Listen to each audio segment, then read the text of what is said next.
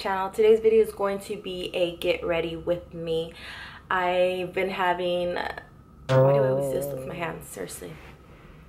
I've been having so many ideas for you guys and I've been thinking about this blue in my head for like days now and I wanted to create a look surrounding it but I also wanted to do something very very simple that anybody can do a beginner or a pro because it doesn't have that many techniques that you would need it's just very very simple and you're only using a few colors but yeah I was kind of feeling down today and I wasn't gonna let that bring me down because when I feel down, I want to play with makeup because makeup makes me happy. I know that's kind of like weird to say, but it does. And um, a lot of the times, like communicating with you guys and getting your comments and talking to you guys always brings my day up. I don't know what it is about it, but it just always brightens my day and it was really really beautiful outside so i didn't want to let anything bring me down. And yeah just basically you guys, my YouTube, my Instagram, and everything that I'm passionate about with makeup always brings my day up and yeah i wanted to share that with you guys and also wanted to say thank you guys. I appreciate every single one of you. I know i don't have that many subscribers the subscribers that I do have. I really appreciate you guys and just want to say thank you from the bottom of my heart. I really do appreciate every single one of you and I love you guys and thank you so much for supporting me. And yeah, now that I got that out, let's just jump right into this tutorial. Thumbs up if you guys enjoyed this eye look and always leave your comments down for future videos. And I think that's basically everything that I had to tell you guys today. Thank you guys so much for watching and I will see you guys in my next video. Bye guys. So starting off, I'm just using my MAC Strobe Cream to prep my face and then I'm going to go in with NARS Sheer Glow and Stromboli. It's a little bit dark for me, but I wanted to use the sample that I got, so I'm just placing that all over my skin. And I do love the way the coverage is on this foundation, so yes, that's why I'm using it.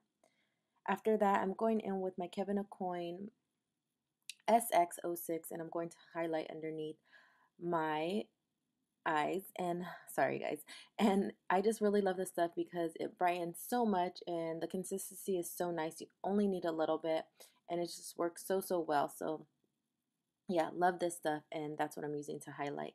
Next I'm gonna go in with my setting powder and this is MAC Emphasize. I just love the way it brings out the brightness under the eye. Next I am just priming my eyes with MAC's Painterly Paint Pot and then I'm going in with this MAC eyeshadow pencil. Um, I used it so like much and I've had it for so long I don't even have the name on it. But I'm just going to use that to place on my eyes to prime. Then to just give a little bit of color, I'm going in with MAC Haux and I'm just going to place that in my crease as my transition color. And like I said, just to give a little bit more color and depth in the crease.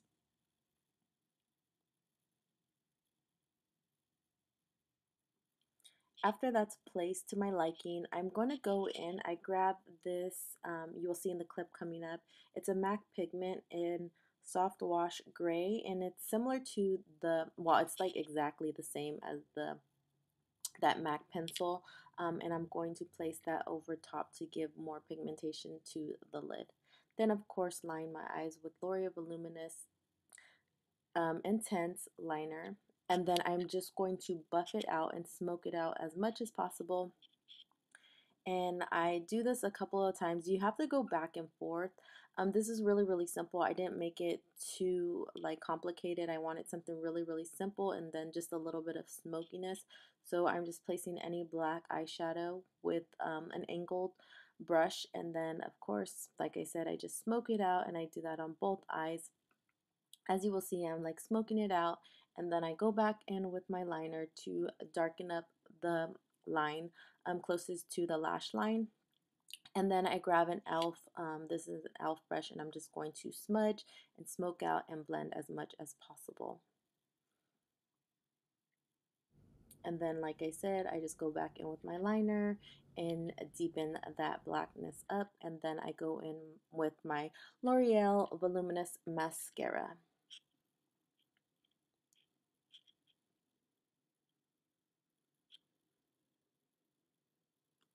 After I prep my eyes for falsies, I'm just going to go in on the lower lash line and smoke out that black color and just give a little bit more depth because I wanted the eyes to look somewhat exotic. Then I am just grabbing my Infallible eyeshadow in Ice Latte. This is like the best color to use in your inner tear duct. And then I am bronzing my face with NYX Deep Tan. And I love the way it just deepens up the face. And of course, I always do the outer portion of my face because I do have a round face. So I wanted to give depth and look make it look a little bit more slimmer.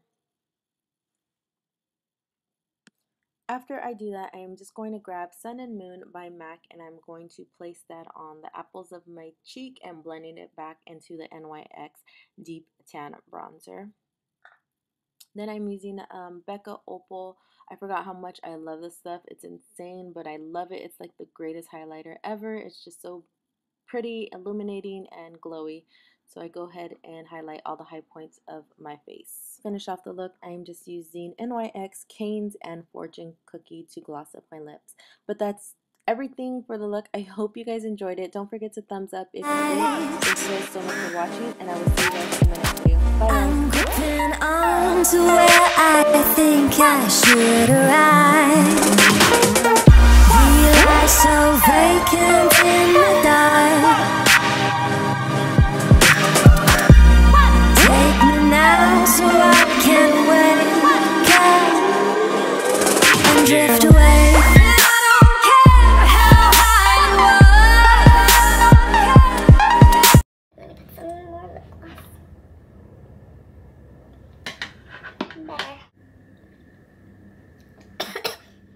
guys, welcome. No. No. Seriously, what the freak is this hair hanging out right here? Thank you guys for always commenting commenting so much. So just thank you guys and thanks for always making my day better.